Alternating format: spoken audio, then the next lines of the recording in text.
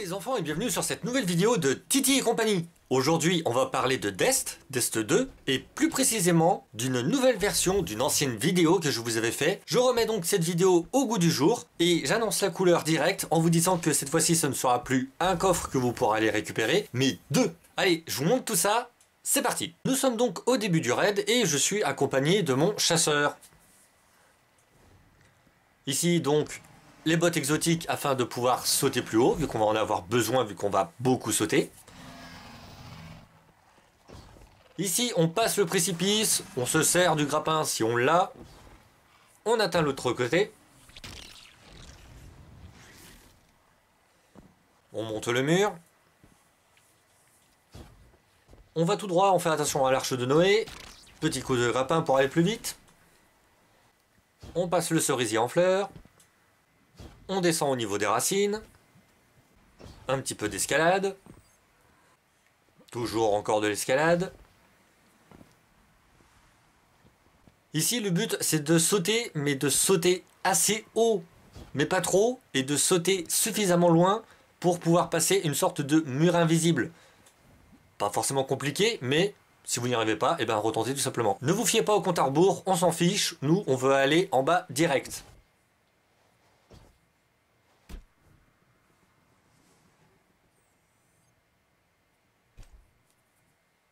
Arrivé ici, on se laisse tomber. Petit coup de grappin pour se rattraper. La poignée du salut et le grappin, ça fonctionne très bien. Vous pouvez aussi tout faire juste avec le grappin ou tout faire juste avec la poignée du salut. En gros, vous avez juste à faire un saut assez haut, justement, arriver à cet endroit-là. Donc, soit vous faites un coup de grappin, ou soit vous sautez. Le principal, c'est que vous arriviez justement à cette zone, à un écran de chargement. Pourquoi? Parce que après, le jeu charge enfin la zone en dessous. Celle que l'on vient de passer qui était vide, maintenant, elle est pleine. Donc, on a réussi à charger notre zone. Ensuite, il ne reste plus qu'à aller chercher le coffre.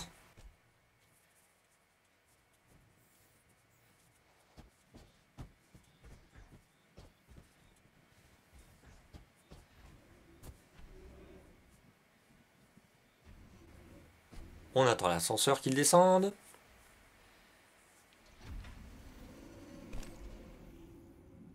On rate pas son saut. Le grappin pour rattraper.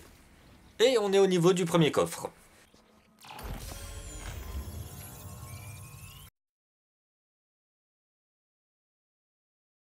On va donc enchaîner avec le deuxième. Et pour ce faire, on repart tout simplement du premier et on prend plus ou moins tout droit. On fait attention aux éléments du décor qui sont plus ou moins interactifs, j'entends par là les murs qui sortent des murs.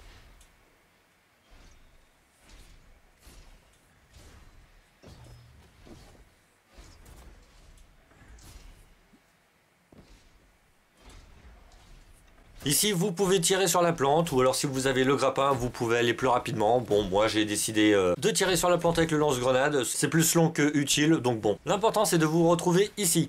Et là maintenant, c'est clairement tout droit. Vous ne prenez ni à droite, ni à gauche, ni vous retournez en arrière, ce qui serait complètement stupide. Non, non, ici, vous allez tout simplement tout droit.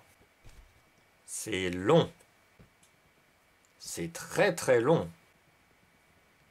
Mon Dieu que c'est long. C'est encore plus long et plus chiant que quand tu vas chez Ikea. Ici, je tente quelque chose, mais ne refaites pas la même, ça ne sert à rien. Voilà, donc comme je disais, ça sert à rien, comme ça. On prend direction le mur, et pour ce faire, eh ben, on va tout simplement utiliser quelques petites failles qu'il y a à l'intérieur de ce dernier. Ici, magnifique façon de ne pas bien utiliser son grappin. Ici, on tente de claquer le super pour prendre un petit peu de hauteur. Et... non. Non, non, non on fait de la merde.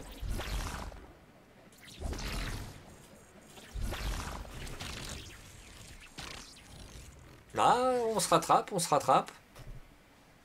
Ah non, ça passe pas.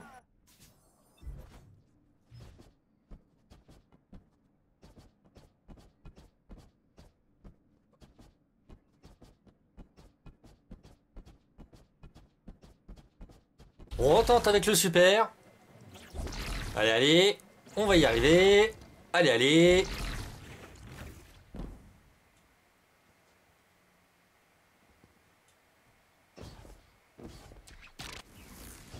Le tuyau de ces morts de fils de... Eh ben c'est raté. Allez, on la retente. Et cette fois-ci, ça passe. Au bout du 50e essai, mais ça passe. Ici, on va avoir un nouveau problème, c'est qu'il y a une zone de danger. Donc il va falloir trouver un moyen de passer cette zone de danger. Et pour cela, c'est assez simple. On utilise le grappin une première fois, puis ensuite, on utilise la descente en maintenant la touche d'esquive enfoncée pour descendre le plus rapidement possible. Nous revoilà repartis pour un petit peu d'escalade, pour pas changer.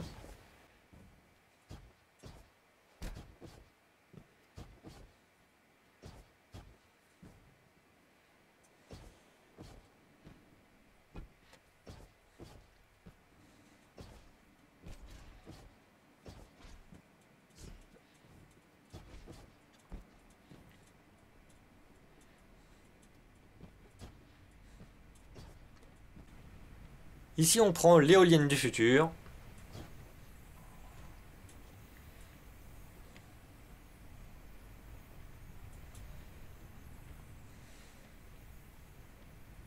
En gros, le principe est le suivant. Vos pieds doivent toujours être alignés par rapport à la pale. Une fois qu'on est arrivé, on descend. Le petit coup de grappin pour aller plus vite.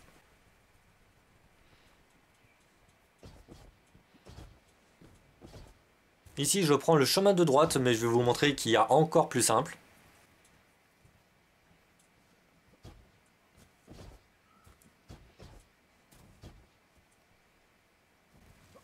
On saute sur le bulbe.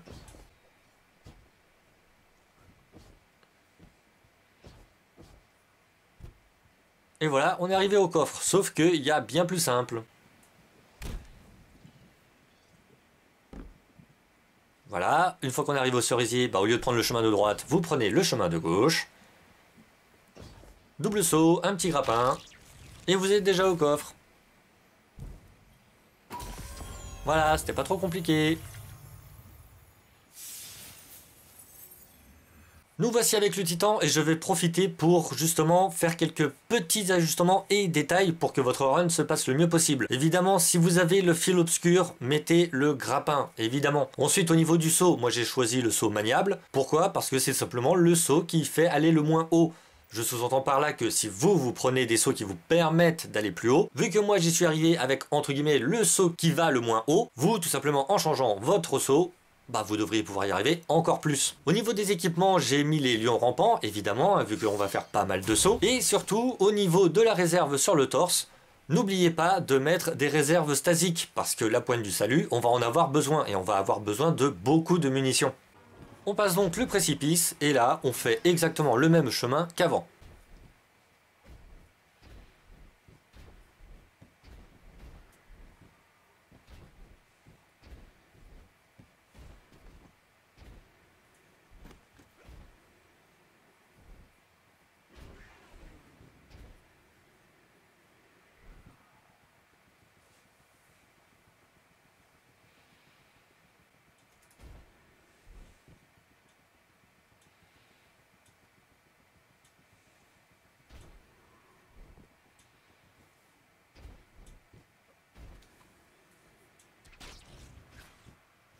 Ne me demandez pas comment j'ai réussi à le faire, mais je l'ai fait. On descend en se brisant un genou.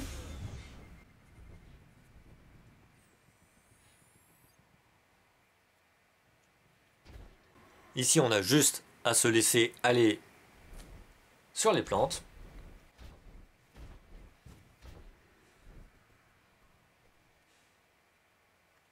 Ici, ce que l'on va chercher à viser, c'est ces espèces de lampes lumineuses et surtout un endroit bien précis qui est le suivant. C'est dommage, c'était pas celui-là. Je disais donc, il faut réussir à toucher un endroit bien précis au niveau des lumières et il est le suivant. Petit coup de grappin, on prend son temps pour redescendre et on vise vraiment, vraiment l'espèce de Pour pouvoir être safe. si vous touchez autre chose, ce n'est que du vent. Ça n'existe pas de manière réelle, pas de manière physique. Quand je tire, ça touche. Là, ça touche plus. Donc vraiment, visez bien cet endroit-là précis. Sinon, vous passerez au travers et vous crèverez comme une merde. Un petit coup de grappin histoire de pouvoir remonter. Un saut pour pouvoir charger la carte pour de vrai, on réapparaît, et c'est bon, on a bien la carte qui est chargée. Et à partir de ce moment-là, il suffit tout simplement de reprendre exactement le même chemin pour aller chercher le premier coffre.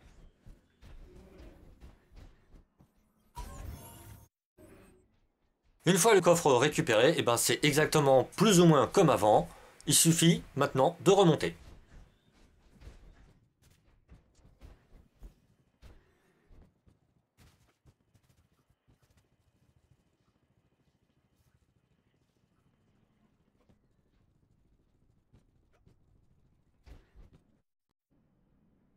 Ici, c'est clairement le passage le plus compliqué. C'est donc pour cela que l'on va utiliser la poigne du salut et qu'on va l'utiliser énormément. Petit coup de grappin, puis ensuite on se stabilise dans un trou de la structure. Et c'est à partir de ce moment-là que ça va devenir très très drôle. C'est long, c'est chiant, c'est stressant parce que je rappelle que les cristaux que vous faites apparaître n'ont pas une durée de vie illimitée c'est quelques secondes. Donc, si à un moment vous vous foirez, vous retombez tout en bas. Et vous n'avez plus qu'à tout recommencer. Sauf que forcément, pour atteindre le sommet, vous avez utilisé beaucoup de munitions. Ce qui veut dire que si vous vous ratez pratiquement arrivé au sommet, bah vous n'aurez plus assez de munitions pour pouvoir recommencer. C'est génial. Arrivé à la fin, je vous conseille un petit coup de grappin parce que vous pouvez potentiellement vous faire un petit peu trigger par le jeu, par une espèce de mur plus ou moins invisible qui se trouve dans les parages. Ici, on doit repasser la zone de mort. Le problème, c'est que le titan n'a qu'un seul grappin. Alors ici, il y aurait différentes astuces. Vous pourriez par exemple prendre le code du missile, le Superman Cryo, pour pouvoir passer plus vite directement. Mais sinon, ce que vous pouvez faire, c'est tout simplement prendre votre poigne du salut, créer un cristal à vos pieds, monter sur ce cristal, vous élever suffisamment pour ne plus être en mode attention retourner au combat, puis claquer votre grappin, et après vous êtes bon. Comme je l'ai dit, il y a différents moyens d'y arriver, mais bon, là je vous ai donné un exemple. Et il ne nous reste plus qu'à aller au niveau du deuxième coffre. J'apporte quelques petites précisions ici. Quand bien même je vous ai montré qu'il fallait plus ou moins du fil obscur et ou la poigne du salut pour pouvoir le faire, il n'empêche que je n'ai pas pu vous montrer toutes les solutions qui sont à votre portée. J'entends par là que comme je ne sais pas faire le grapple rocket, tirer une roquette puis la gripper avec votre grappin ce qui permet de se déplacer bah, où on veut très rapidement. Je vous ai aussi montré la solution parce que j'étais vraiment tout seul, mais justement là les enfants, dites-vous bien que si vous avez l'occasion d'avoir des amis de votre clan ou qui que ce soit qui viennent vous filer un coup de main, ça ira forcément plus vite et ce sera beaucoup moins laborieux. Pourquoi? Bah Parce que tout simplement, si vous vous foirez par exemple sur l'étape pour gravir le mur avec la poigne du salut, eh ben vous aurez vos collègues qui auront eux encore des munitions et même eux pourront faire encore mieux, c'est-à-dire qu'ils pourront tirer les cristaux de loin et vous tout ce que vous aurez à faire, c'est tout simplement de sauter sur les cristaux qui vous mettront au fur et à mesure sur votre chemin. Il y a des tonnes et des tonnes de façons d'arriver au même résultat que j'ai fait